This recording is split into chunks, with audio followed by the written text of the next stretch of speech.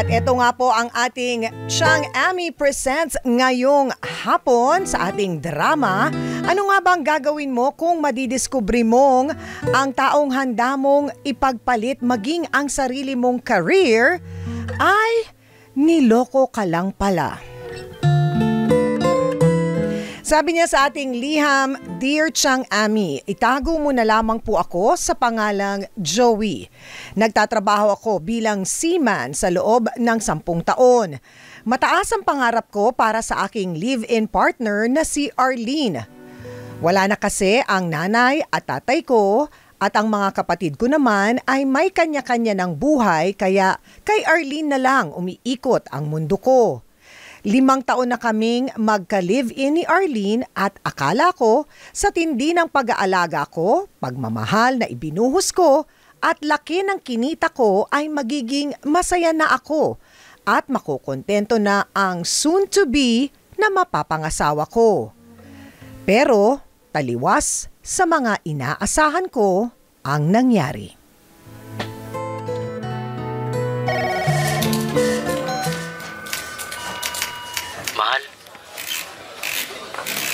Kakatapos ko lang magtrabaho.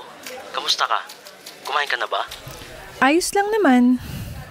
Pagod ka ba? Pauwi na ako. Pagod na pagod ako, mahal. 12 oras kasi ako nagtatrabaho eh. Ang daming pinagawa sa akin. Pero ayos lang. Nawawala ang pagod ko kapag kausap na kita. I love you. Ah, ganun ba? Di bale, makakapagpahinga ka naman eh. Sana bukas hindi masyadong marami yung trabaho mo para hindi ka masyadong mapagod. Um, baka pwede mo naman akong padala ng pera o kahit 10,000 lang? Ayos na sa akin yun. I love you too.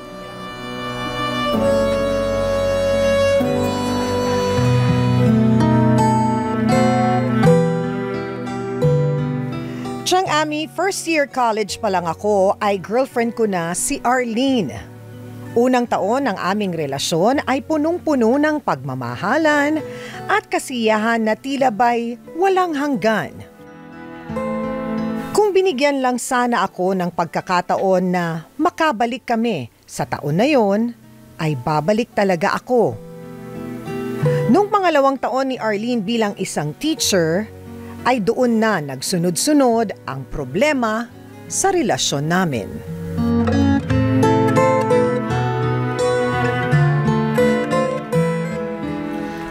Mahal, aalis muna kami nila Sara ha. Iinom lang kami sandali. Nagaya kasi, minsan lang naman to. Umuwi ka na maaga, mahal ha. Huwag ka masyadong magpakalasing. Alam mo namang nasa malayo ako. Hindi kita mahalagaan at masusundo. Miss na miss na kita, mahal. Ah, hayaan mo. Pag uwi ko, tayo naman na magbabanding. Nga pala, natanggap mo na ba yung pinadala ko? Oo, mahal. Uuwi ako ng maaga. Nako, matagal ka pa dyan eh. Huwag mo na muna isipin yon. Natanggap ko na, salamat mahal ha. Kaya mahal na mahal talaga kita eh. Malapit-lapit na din, mahal. Konting taste na lang magkakasama na tayo. Nako, ang lambing-lambing naman ito. Ingat ka, mahal ha. I love you so much. Mas mahal na mahal kita. Eto na, tumatawag na si Sarah. Ah, ganun ba? Okay, sige, mahal. Mag-ingat kayo sa alis nyo ha. Update mo na lang ako. Bye. Hello, Sarah? Girl, ang tagal-tagal mo naman. Nasaan ka na ba? Nandito na kami sa bar, oh. Hinihintay ka na ni Gerald. Kanina pa to nangungulit sa akin. Init na init na yata. Saglit nga lang, Frenny. Sabihin mo nga, huwag siyang apurado. Basta, dalian mo na. Sayang ang oras, oh. Kung kanina ka pa dumating, edi sana medyo lasing na tayo ngayon. Napakatagal mo kumilos. Oo na, oo na, ito na.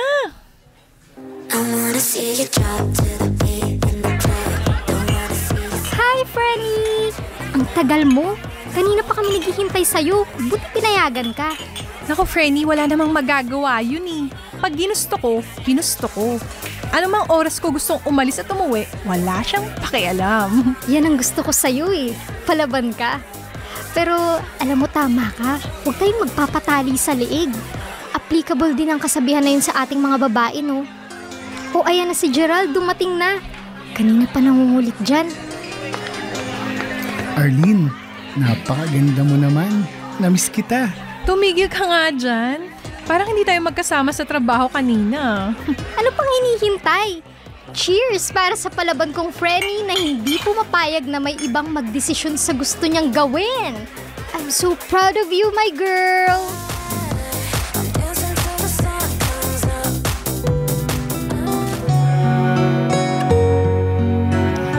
Tiyang Ami makalipas ang ilang oras ay hindi pa rin umuuwi si Arlene at wala pa rin siyang update sa akin. Tawag ako ng tawag sa kanya pero hindi niya ako sinasagot. Nag-aalala na ako sa kanya baka kasi kung ano na ang nangyari. Kung ano-ano na rin ang pumapasok sa isipan ko nung gabing yon. Sobra-sobra ang tiwalang ibinigay ko kay Arlene Chang. Alam kong mahal niya din ako gaya ng pagmamahal ko sa kanya. Hindi naman ako para mag-isip ng mali sa kanya kasi sobra talagang tagal na ng relasyon namin. Pero bakit po ganun? Nakuha ko na siyang pagdudahan sa isip ko. At napansin ko kasi na naging malamig na ang trato niya sa akin at bihira na siyang magkwento. Hindi na siya yung dating Arlene na nakilala ko.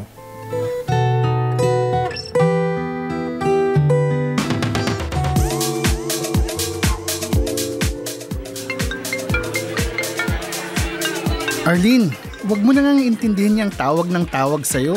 Magsaya na lang tayo ng magsaya ngayon. Wag mo munang intindihin yan. Nasa barko yang si Joey. Imposibleng hindi nang bababae yan doon. Nandito naman ako. Nakita mo naman hindi ko nga sinasagot, Geraldo. Ayoko ng istorbo ngayon. Masaya akong magkakasama tayo. Maggalit na siya. Minsanan lang naman tayong umalis eh. Kaya nga, Frenny, alam mo, simula pa lang ayoko na dyan kay Joey. Pasensya ka na ha, pero kasi hindi ko trip yung personality niya. Nabuburingan ako sa kanya. Tsaka parang hinahawakan ka niya sa. 'Di ba? Gusto niya palagi kang mag-update sa kanya kahit na nagtatrabaho ka. Pwede ba yun? Nakakasakal kaya yun, girl. Hindi talaga kayo bagay. Wala pa naman din kayong anak, kaya mag-isip-isip ka nga. Alam mo kung sino ang bagay sa'yo? Nako girl, sinabi mo pa. Minsan nga kahit nasa biyahe ako, gusto niya magkausap pa rin kami. Hindi naman pwede yun. Alam mo sa tagal na ng relasyon namin, at sa tagal niya nang nagbabarko, parang nagsasawa na ako. Paulit-ulit yung nangyayari sa araw-araw, umaga, tanghali at gabi. Kumustahan, konting usap. I'm like, wala na bang bago? Lagi na lang ganito? Parang wala ng spark. Masarap kaya sa pakiramdam yung excited kang umibig muli ng ibang tao. Mas masaya yun lalo na kapag palagi mong kasama. Wala sa barko at higit sa lahat, kasamahan mo pa sa trabaho. Di ba Sarah? Nax, ayan girl oh. Nandiyan naman si Geraldi. Nagpaparinig na nga sa'yo oh. Pero ito ha, ang payo ko sa'yo, Gerald, hintayin mo munang maghiwalay sila Joey at saka si Arlene bago ka umeksena para kahit papaano wala kang takot. Walang ka ba? At wala kang iintindihin kasi hiwalay na sila. Tama, di ba? Hindi ko na kailangang magparinig, Sarah. Alam naman ni Arlene na may gusto ko sa kanya eh. Di ba, Arlene? Alam ko din na may gusto ka sa akin. Nahahalata ko rin yon, Arlene. Kailan ka ba makikipaghiwalay dyan kay Joey? Naiinip na ako eh. Mahal kita. Sana hindi mo na ako paasahin. Alam ko namang masaya ka sa ating dalawa eh. Malitong ginagawa natin pero kung ito yung magbibigay sa atin ng sigla, lalo na sa'yo, ano pang hinihintay mo? Makipaghiwalay ka na dyan kay Joey. Gerald, hindi naman ganun kadali yun eh. Ang tagal na namin. Kailangan ko ng matinding rason para hindi niya ako pag-isipan ng masama. Darating tayo dyan. Huwag kang mag-alala. Maghintay ka lang. Maggagawa ko ng paraan yan, okay?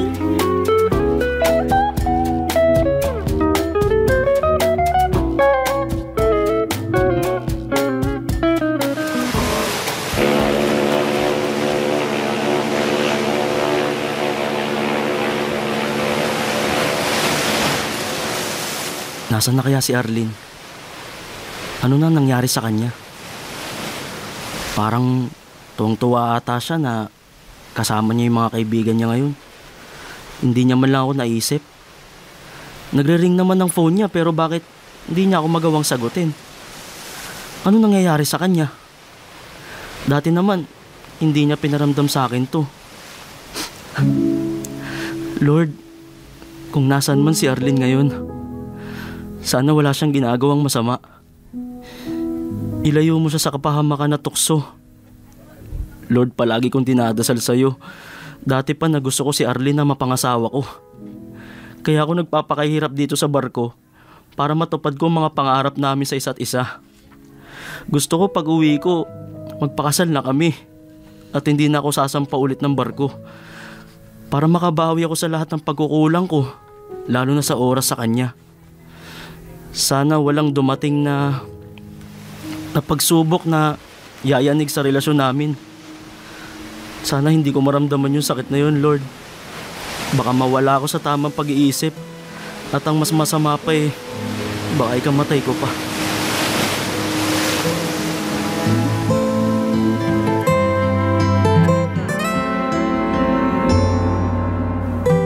Siyang Ami, hindi na ako nakatulog sa kakahintay sa tawag ni Arlene.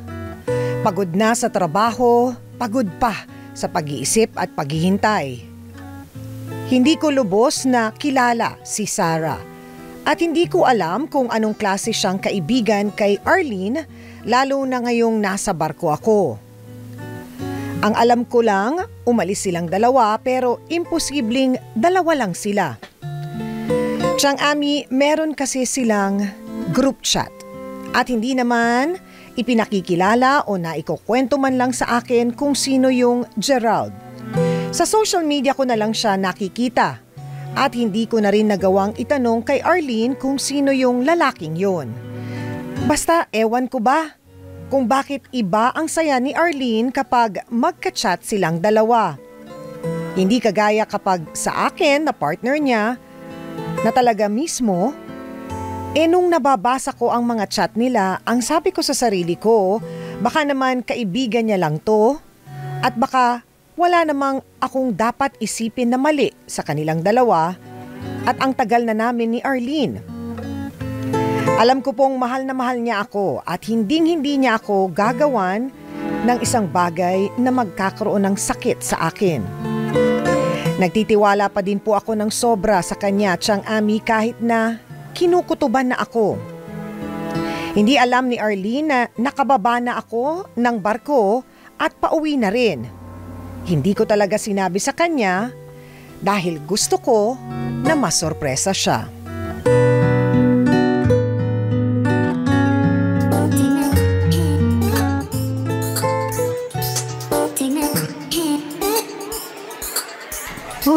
Gerald! Lasing na si Arlene, oh. Buti na lang Sabado bukas at wala tayong pasok, Arlene. Ang pula-pula mo na, oh. Tama na yan. Marami pang next time. Teka, mauna na ako sa inyo, ah. Hoy, Gerald, alalayan mo si Arlene, ha? Ikaw na bahala sa kanya. Salamat, Sarah. Relax ka lang. Ako nang bahala. Ihahatid ko siya sa kanila. Sigurado ka ba? Ihahatid mo ko. Kaya mo pa ba magmaneho? Oo naman Arlene, basta para sa'yo, gagawan ko ng paraan lahat ng bagay. Ganyan ka kaimportante sa akin. Nambola ka na naman. Huwag mo na ako paringgan. Basta gaya nga ng sabi ko sa'yo, maghintay ka lang. Huwag kang mainip. Sinabi mo yan ha. Sana may isang salita ka. Halika na, kahatid na kita.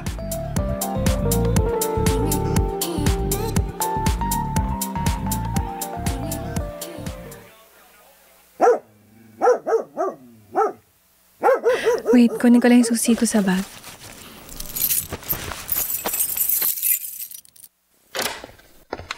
Ako, salamat Gerald ha.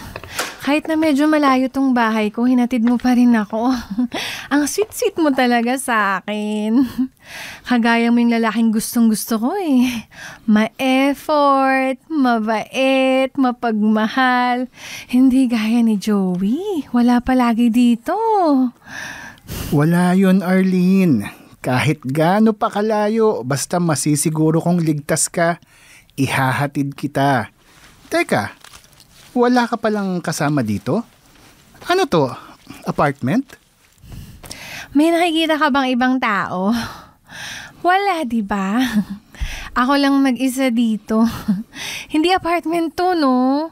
Pundar ni Joey yung bahay at lupa na to. Sabi nila, maswerte nga raw ako eh. Kasi yung iba nangungupahan, pero ako, may sariling bahay at lupa. Oo, nandun na nga ako. Maswerte pero hindi nila alam. Aanhin ko lahat ng to kung ako lang mag-isa dito. Madalas nga nalulungkot ako eh. Nababoard ganon. Tao lang din ako kaya may pangangailangan din ako. Alam mo naman, ang tao parang isang halaman nalalanta kapag hindi nadidiligan. Siya, sige na. Gabi na rin umuwi ka na nga. Sa bagay, may point ka naman doon. Ang hirap kaya ng long distance relationship. Ano yun? Puro na lang ba padala? Gaya nga ng sabi mo, paano yung iba pang pangangailangan mo, di ba? Pero Arlene, alam mo, handa akong ibigay lahat sa'yo. Kaya kong puna ng mga pagkukulang ni Joey sa'yo. Alam mo, totoo yung sinasabi mo. Nakikita ko naman din sa'yo na pursigido ka sa akin eh. Basta, basta. Kapag nakipaghiwalay ako kay Joey, hindi yun dahil sa akin. Kasalanan niya yan. Wala na siyang oras sa akin sa katatrabaho niya. Alam kong mali eh. Kung ano man yung namamagitan sa atin. Pero, may sisi niya ba ako? Huy, umuwi ka na. Baka hinahanap ka na sa inyo. Ah, nahihilo na din nga ako eh. Hindi na ata ako makakapagmaneho pa uwi. Ang layo nitong bahay mo. Nakakapagod kayang magmaneho lalo na kapag napakalayo. Ay, sige na nga. Bukas ka na lang umuwi. Dito ka na lang matulog. Basta ipangako mo sa akin ha. Walang makakaalam kung ano man ang mangyari sa gabing to, ha? Maski si Sarah, wag na wag mong sasabihin sa kanya. Oo naman Arlene, wala akong pagkukwentuhan. Promise yan. Excited na ako. Kanina pa ako nag-iinit nung nasa inuman pa lang tayo. Napaganda at napaka-sexy mo talaga. Grabe. Naku, bolero ka talagang gwapo kay, no? Matulog na tayo. Halika na. Halika na. Si- sigurado ka bang tulog lang? Panindigan mo yan ha? Depende yan sa'yo. Kung kaya mo pa, kaya mo pa ba? Wag na wag mo kong hinahamon. ano ba? Nakikiliti ako. Ano ba?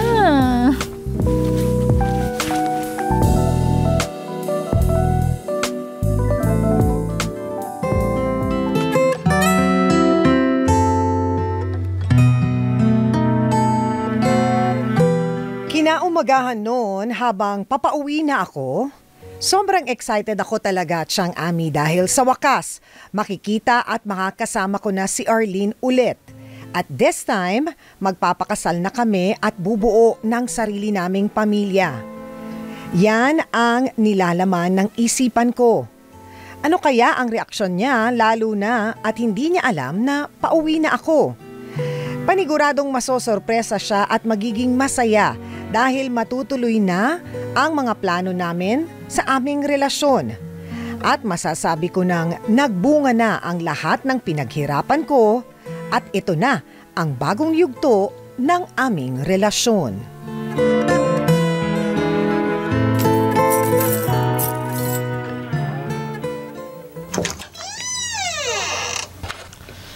Mahal? Mahal, nandito na ako. Misa-misa kita. Mahal? Asan na kaya yun? Puntahan ko nga sa taas.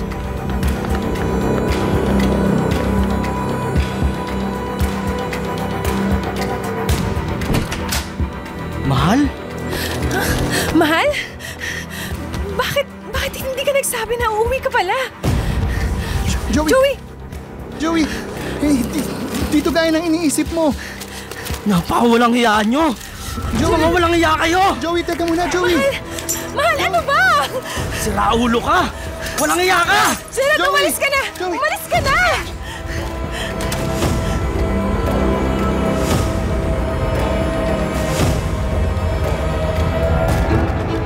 Ano bang ipapaliwanag mo sa akin?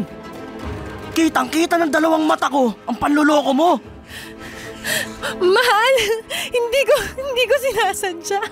Oh, nalasing lang ako at hinatid ako ni Gerald. Pasensya ka na. Pasensya ka na, mahal. Kailan nyo pag ginagawa sa akin ito? Sumagot ka! Kailan? Mahal, isang beses lang to. Huwag mo naman sana ako pag-isipan ng ganyan. Magpag-isipan ng mali! Naririnig mo ba sarili mo? Nakuha mo pa talagang tawagin akong mahal? Ha? Arlene, pa- pa- paano mo nagawa sa akin to? Bakit? Halos ubusit ko lahat ng pera ko kakapadala ko sa'yo. Hirap na hirap ako sa barko para lang mabigyan ka ng magandang buhay tapos ito! Ito pa ang isusukli mo sa akin? Hindi ko na alam, Joey. Hindi ko na alam. Ang dami mong pagkukulang sa akin. Akala mo ba palagi na lang pera yung makakapagpasaya sa akin, ha? May pangangailangan din ako. Hindi lang pera. Hindi lang tungkol sa pera palagi, Joey. Sana alam mo yun. Ang hirap-hirap na wala ka sa tabi ko. Napakahirap na wala ka dito. Arlene! Lahat binigay ko sa'yo. Pera ko, bahay at lupa. Pati na rin ang buhay ko. Ang sakit-sakit ng ginawa mo. Napakalaswan yung dalawa. Bakit? Bakit ba ako nasa barko? Bakit ba ako nagpapakahirap sa kakatrabaho? Di ba para sa'yo? Para sa ating dalawa. Oo, aminado ko. Marami akong pagkukulang sa'yo. Pero sana yung mga pagkukulang ko na yun, hi- hindi mo hinanap sa iba.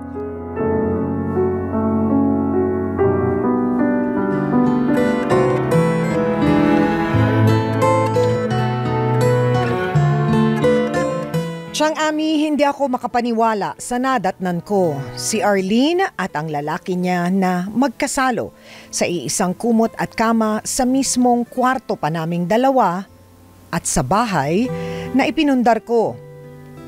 Parang pinagsakluban ako ng langit at lupa nung araw na yon. Hindi agad ako nakapag-react at natulala ako sa mga nakita ko. Kasabay ng pagguho ng mundo ko ang paglaho ng mga pangarap ko para sa aming dalawa ni Arlene. Ang tanging tanong na lang sa isip ko ay bakit? Bakit nagawa ni Arlene sa akin ang lahat ng ito? At paano na ang pangarap kong pakasalan siya at makabuo kami ng sariling pamilya? Napakasakit po talaga, Chang Ami. At buti na lang ay hindi pa kami kasal at wala pa kaming mga anak. Ipinagpapasalamat ko na iniwas na lang din ako siguro ng Panginoon sa mas masakit pang pwede kong maramdaman. Ang tanging dasal ko na lamang po ay gisingin ako sa bangungot na araw-araw ko pong nararanasan. Napagtanto ko na wala na talagang sigurado sa buhay ng tao dahil may mga pangyayaring darating na hindi natin inaasahan at mga bagay na hindi natin kontrolado. Kagaya na lamang ni Arlene na isa na ngang guro pero hindi man lang naturuan ang sarili kung paano maging tapat, makontento at mapagmahal at magmahal ng totoo. Hanggang dito na lamang po, Chang Ami. Maraming salamat po sa pakikinig sa aking kwento. Nagmamahal, Joey.